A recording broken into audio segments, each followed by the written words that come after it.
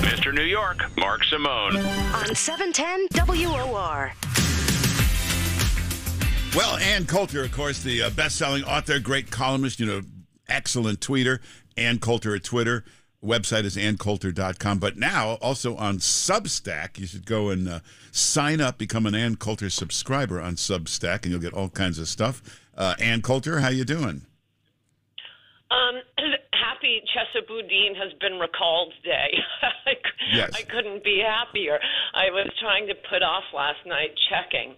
Um, you know, the New Well, York for those that don't know, Chesa Boudin is is one of these radical nut job DAs who let all the criminals out, and they had a recall vote in uh, San Francisco last night, and even the ultra liberal San Francisco voters threw him the hell out. So, what does this all mean now? Oh, sorry, you're right. I should have gotten given a, a description. I will give a slightly fuller description. Um, he is actually I just talked about him on one of my Substack videos, um, and I've written about him um, and particularly his parents. He is he is the scion of Weather Underground parents who killed two cops on a Brinks guard. They were involved in a conspiracy with the Black Panthers um, just outside of New York City. It was a hideous, hideous crime. Um, so of course, you know, he gets into Yale because that's that's royalty, Mark. um, I, I, yeah, let me see his let me see his LSATs. Um, but that is really that is a desirable characteristic at our Ivy League university. So he is terrorist royalty, beloved, one of the many George Soros DAs destroying cities around America. San Francisco, L.A. Um, George Gascon is the George Soros DA in L.A. and um, God willing, he will be recalled later this year. There's a recall petition going around. I think they have another month. Um, there is our guy, Alvin Bragg in New York City, Larry Krasner in Philadelphia, um, Houston, just city after city. It, it is the most evil, destructive thing a person could do. And so, of course, this is what George Soros has done. He's gone around and and replaced the the prosecuting attorney in all of these cities with attorneys who will not prosecute criminals. Um, who hate unless uh, they'll prosecute cops, lots of cops. So um, San Francisco, like many other cities, uh, has just become an absolute hellhole. There are plenty of other policies, um, which I, I think I'll be writing about tonight in San Francisco, turning one of the most beautiful cities. I mean, it really is my favorite. Not nobody cares about what my favorite city is, but if you haven't been there, um, especially if you're a New Yorker. San Francisco is the only city that that could even compare to New York City. Um, not anymore. Now, um, you know, you're waiting for there. There are maps of where the human feces are on the street. Drug addicts all over. It's like something out of Night of the Living Dead, except worse. Uh, and stunningly, this most progressive city in in the nation, and I would submit the world, um, where you know the the gay pride parade, pride parade is is is an annual holiday. Um, way bigger than Christmas. Um, he's been recalled in a massive, massive vote. It was the first vote to come out last night. Um, they, they of course, are on um, three hours later. If you were if you were trying to check and see what was happening in New York, um, and I was hoping this would happen, as many were, but you never know what's going to happen, especially with that liberal of an electorate. Um, and that was the first result to come in. And they're still counting. I think it's like 85% now, but it's a good 60% voted to recall him. So um, I hope this is the beginning of a trend. Uh, Yeah, let's, so you- let's let's do Gascon and Alvin Bragg, or a- actually, we just need to elect Lee Zeldin governor in New York to get rid of Bragg. Uh, yeah, or Rob Astorino or Andrew Giuliani. Every Republican has said they'll throw Bragg out the first day.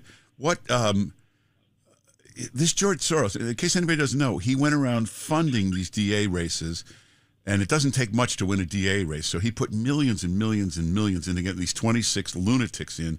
Shouldn't somebody haul him in front of Congress and put him under oath and say, "What the hell was your point in doing this?" and why, why were you funding DA races in places you don't even live? Shouldn't he be made to answer all this? That's a good question. Um, I mean, I prefer an immediate death penalty. Well- That's a joke. Uh, I don't really think they can do that. I mean, a private citizen donating, uh, it's it is pure evil. Um, he only recently became a citizen a, a few years ago. I was I was not jokingly thinking, why can't we deport this guy? Um, I believe he remains. He was um, convicted in absentia of a felony in France. Um, but he did, I, I, as I understand it, a few years ago, become become a U.S. citizen. Um, yeah, but he is somebody who should be who should be looked at with his finances um, because of because of funny business in the past, not because of his politics. Um, but I don't think you can call somebody in just because this is what they do. I think Republicans ought to learn from him. Yeah. Um, billionaires could learn from them. It doesn't take. It doesn't, they don't need to be billionaires. It doesn't take that much money. Um, because these are races that, that don't have huge. It's usually just you know whomever whomever the the top prosecutor is and Roe recommended by his superior. They're really small affairs. Maybe if any money is spent at all, ten thousand dollars or something. So you throw two hundred thousand dollars at a DA's race. Um, I wish. Not even Republicans, but people who believe in civilization were this smart. It doesn't take that much money. Um, this is why it's very frustrating to see so much money being wasted um, by wealthy Republican donors when there are smart things they could be doing with their money. Look at what this evil man did. Look at the lives and neighborhoods. Um, the, women attacked, the fear, the old people, and women who can't walk on the street, neighborhoods destroyed, no more shopping. Walmart, or uh, Walgreens rather, excuse me, pulled pulled out 17 stores from San Francisco because the criminals just walk in. They're not going to get prosecuted. In fact, they taunt, they taunt the police. You're not, you're not going to arrest me, and nobody's going to prosecute me. They just go in with their sh- with their with their shopping bags, and this is happening.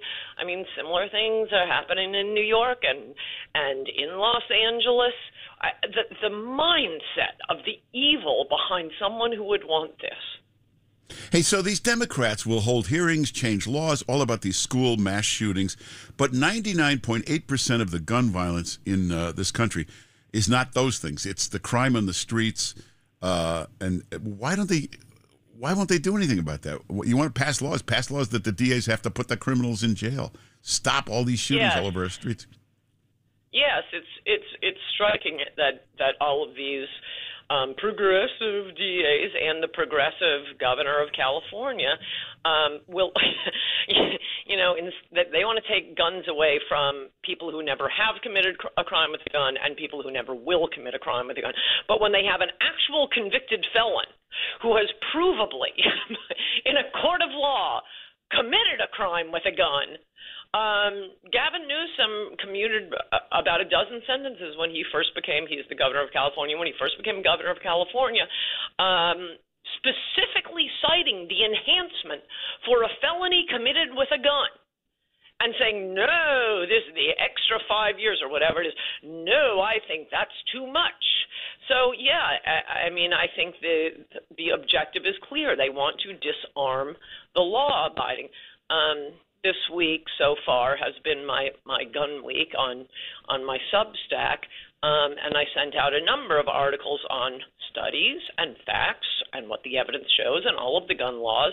Uh, and it's all listed on my Substack right now, anncoulter.substack.com.